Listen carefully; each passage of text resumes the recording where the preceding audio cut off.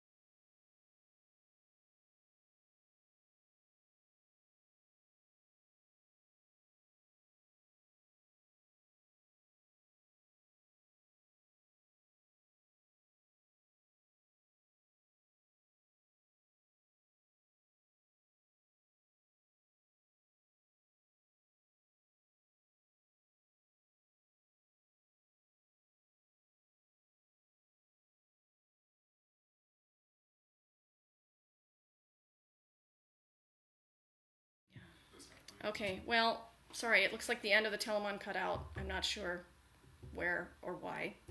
Um, I really wanted to play the next piece for you. I'm going to give it a shot. If it fails, um, I will redo it um, at another time when I can figure out the computer issue. Um, uh, Ernst Krenek was an Austrian child prodigy, and uh, he achieved superstar status uh, with uh, the opera that he wrote in 1926, Jonny Spielt auf. Uh, it's about a jazz violinist, and he employs jazz motifs and displays interracial relationships. Um, that combined with the fact that he married Gustav Mahler's daughter, who was a Jew, um, really made the Nazi Party hate him. Uh, they had a great distaste for him, um, even though the marriage only lasted a year. Um, his opera had a huge popular following. He became rather wealthy, um, but the opera was later condemned uh, by the Nazi Party as the black shame and banned. Krenek said, knowing that my name was on the black lists of Germany and sensing that Hitler would soon overtake my homeland, I decided in 1937 to emigrate to the United States. Um, so he came to the United States in 1938, which is the year of the degenerate music uh, exhibit in Dusseldorf. Um, and uh, all of his works were eventually banned in Germany. Um, of course, he wasn't black or Jewish, but his works were banned because they were considered modern and atonal, um, and that they focused on inappropriate subjects. Um, he initially settled in Minneapolis um, and then moved to California, where he wrote this piece for solo oboe. And um, very little is known about this piece. Uh, it was written in 1956, but not premiered till 1960. Why, I cannot tell you. Um, I looked a lot into it, and I really couldn't find uh, find that information anywhere. Um, he did say uh, in 1939, after he started making a little bit of money uh, when he got a teaching post at Vassar, that I believe the task of enlightening the minds of American youth is not only the most exciting, but also very important because the future of music on the whole rest uh, i'm sorry because the future of music will on the whole rest upon the insight and enthusiasm of the coming generation of americans um, so I programmed this piece not because I have to, I can put whatever I want on these programs. Um, but I programmed it because I actually really like it now. And when I first started learning it, to be honest, it wasn't my favorite, um, to use the words of my children. And um, it really grew on me, and, and, maybe I shouldn't be saying that it wasn't my favorite, but it grew on me, um, and I want to tell you why, so maybe hopefully that means something to you. So this atonality, um, this is this piece is not completely atonal. The movements, most of them center around the note D, and the middle one centers around the note F. I'm sorry, the third one uh, centers around the note F. But it, um, we don't have this sort of typical harmonic structure that we're used to, that we absorb just being a human in the Western world. So um, you know, sort of departed from that standard tonality, and that gives a lot of music a, a sense of chaos and lack of grounding. Um, so that kind of makes sense if you consider what was going on in his life. Um, but I think even within those constraints, he finds some really um, amazing expressive things here. Um, the third movement to me is like a demented Pop Goes the Weasel. And he has a lot of real melodic expression despite the fact that there's no tonality. So anyway, um, never regained his, um, his status that he had achieved uh, in the 20s and 30s in Europe. Um, and you know, even after he's dead, he's barely known.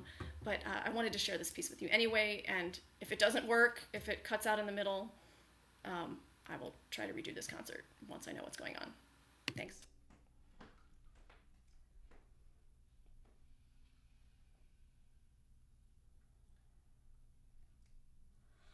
Bye.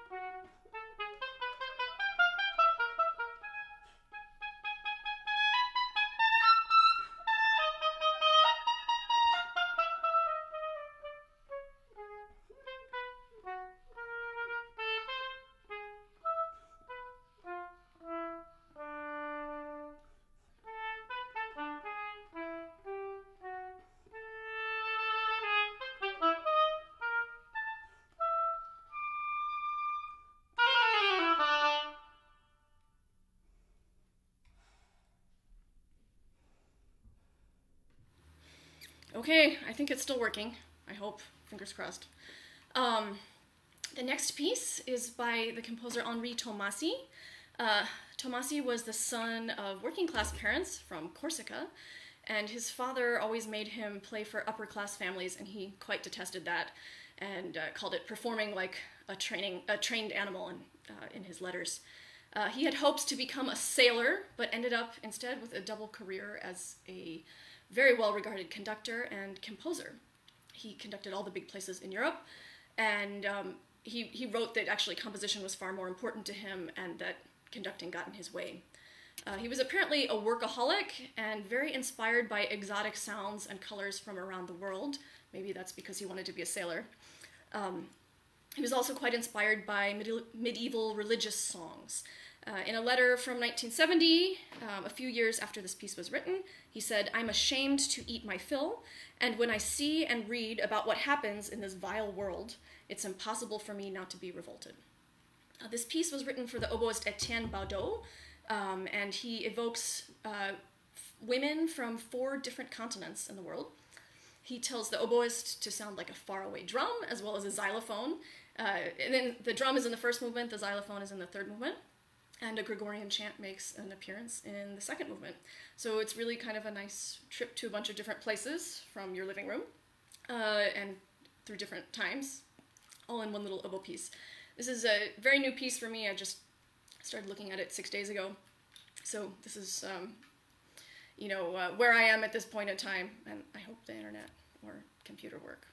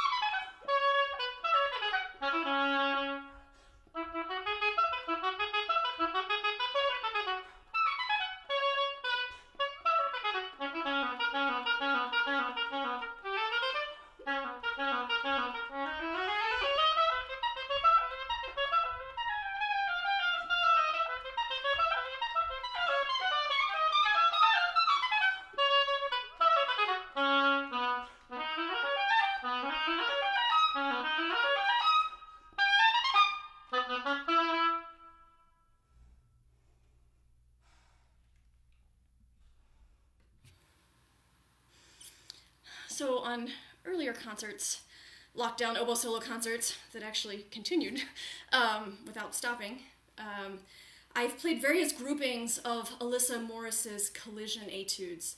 Uh, I've been learning them in quarantine, and the piece is sort of too big and monumental. It was too big and monumental to just play in one week, learning in one week.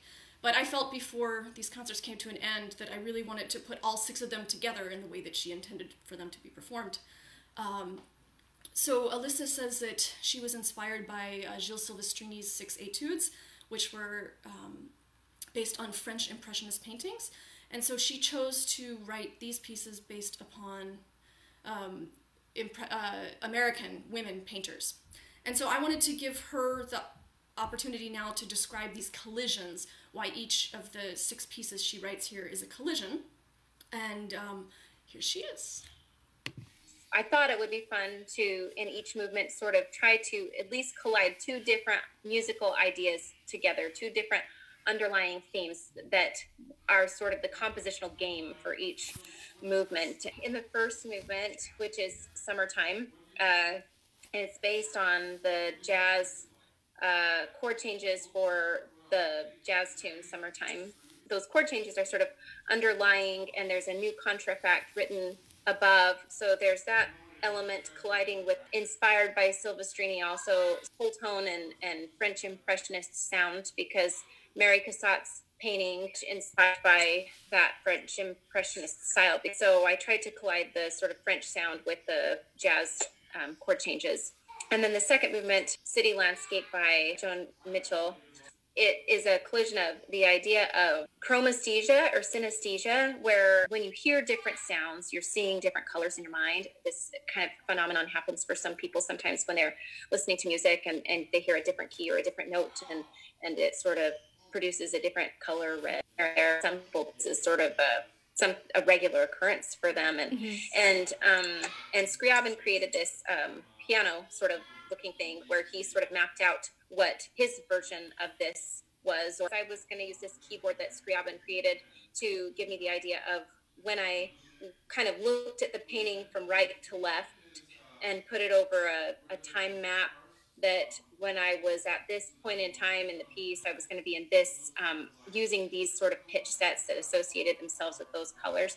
So there's the synesthesia element colliding with the sort of sounds of the city, hip hop infused in a way with some of the articulations and some of the figures, sort of a constant hum and movement that that you would hear in a city too. There's always like kind of this this hum in the background and always things happening. Based on a painting by Georgia O'Keeffe called Jimson Weed, and it's a very close up look at Jimson Weed and the and the flowers are sort of turning. But then there's a more introspective, winding minor feel in the middle. So we're colliding these two elements of this fast sort of showpiece with this more winding and introspective middle section. So, and then in the fourth movement, this is Rainbow by Alma Thomas. The painting is, in my mind, what a rainbow would look like if you were right in it. But if you could be in the middle of a rainbow and see what it looked like, it would probably look like these little fractals of, of cloud dust and different colors really close up, but also kind of um, hazy and muted. And, and so the painting is just these color blocks. I decided to collide the chromesthesia or synesthesia idea again, and then these harmonic fingering. So it's those two underlying ideas that I'm sort of colliding to create that particular etude.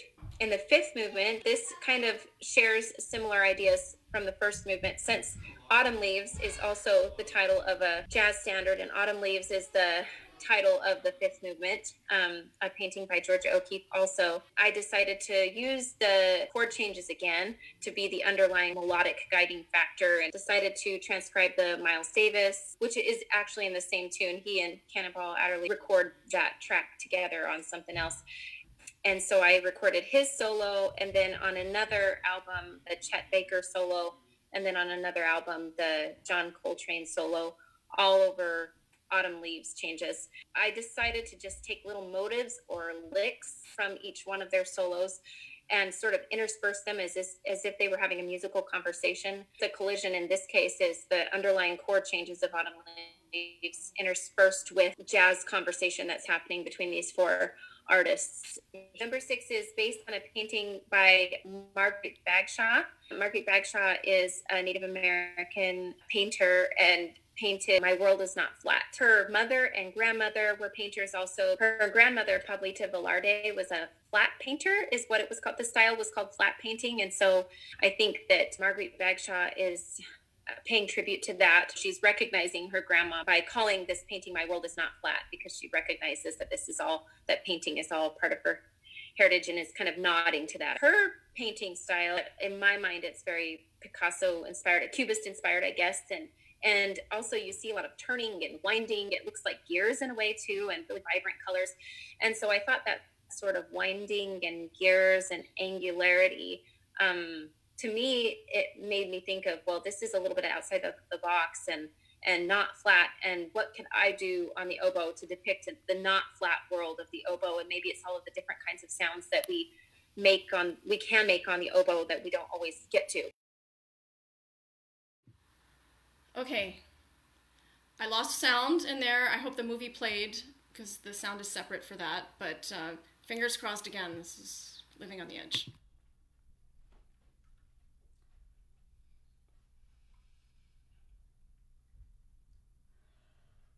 Thank you.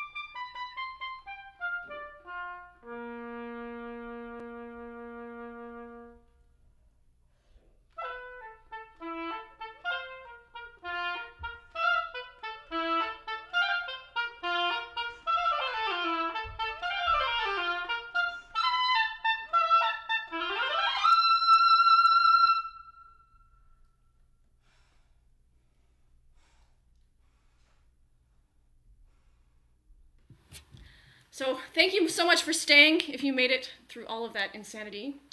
I don't know what the nature of those problems were, but my audio kept cutting out all the time. So I hope some of it got across. Thank you so much for coming. Thank you for staying with me. Uh, it's my privilege to play for you tonight in your homes. I hope you're doing well. I will be back next week with the Telemann 11th Fantasy in G major, and uh, probably will announce the rest of the repertoire tomorrow.